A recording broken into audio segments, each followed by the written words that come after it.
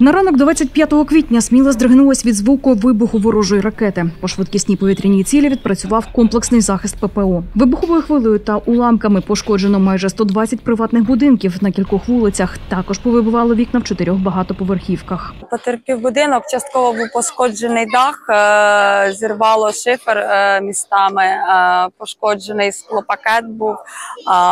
Потім в подальшому виявилося, що і сам пластик пошкоджений. Я в цей момент збиралась саме на роботу, і в момент вибуху я якраз стояла біля вікна, де і пошкоджений склопакет.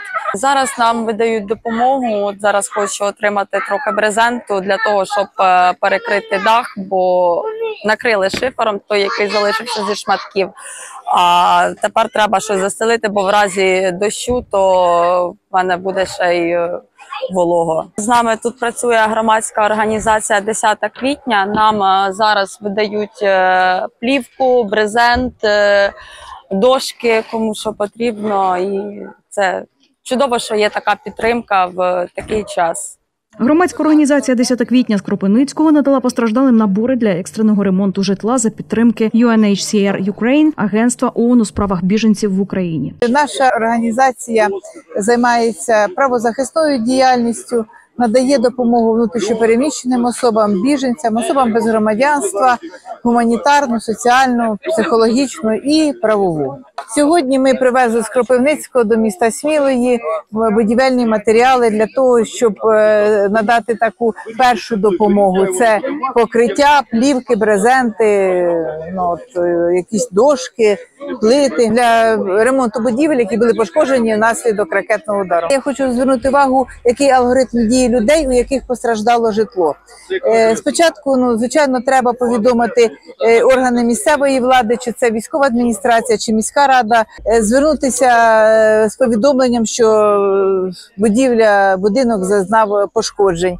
Е, Виходить е, комісія, складає акт, фіксує всі пошкодження, які є в наявності. Потім е, власник майна е, може зробити повідомлення про пошкоджене майно, і буде це повідомлено внесено в єдиний реєстр пошкодженого майна. І потім е, призначається компенсація. Звичайно, це якийсь е, тривалий процес і займає часу, тому що треба і обстежити будівлі. е, Треба, щоб було в цих актах зафіксовано всі пошкодження. Крім того, я хочу нам наголосити, от е, звернути увагу всіх мешканців, хто буде звертатися за компенсаціями. Кожному також я раджу звернутися із заявою про кримінальне правопорушення. Е, отримати витяг із е, єдиного реєстру досудових розслідувань, отримати пам'ятку про права і обов'язки потерпілого. Це означає, що особа набуває процесуального статусу потерпілого, і е, це буде об'єднано в загальне провадження кримінальне, і в майбутньому це дозволить е, е, якоїсь компенсації від держави агресора.